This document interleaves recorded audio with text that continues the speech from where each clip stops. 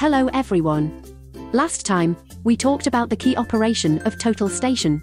Today we're going to talk about main menu and the quick functions. Press the main menu button in the measurement interface.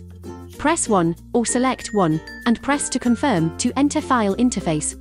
File Manager can storage and manage various measurement data. Press 2 to enter the surveying and stakeout interface. Contains surveying and stakeout functions. Press 3 to enter the applications interface.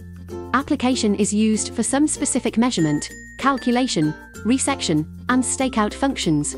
Press 4 to enter the settings interface. Settings is used to modify some measurement parameters and system settings of total station. Press 5 key to enter the calibration interface. Calibration includes the HZ collimation, v-index, and can view calibration. Press 6 to enter the system interface. System is used to check the current full station information status and upgrade the system. Press function in measurement interface. 1. Backlight. The backlight of total station display screen can be adjusted. 2. EDM setting. Set the relevant parameters of EDM. 3. Laser pointer. Turn on or off laser pointer. 4. Level and plummet. Enter the level and plummet interface. 5.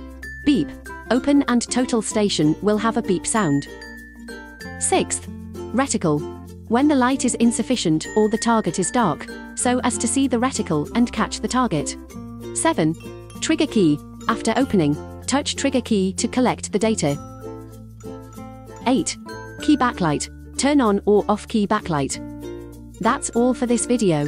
In the comments section, say what you want to know about the total station. Let's see you next time.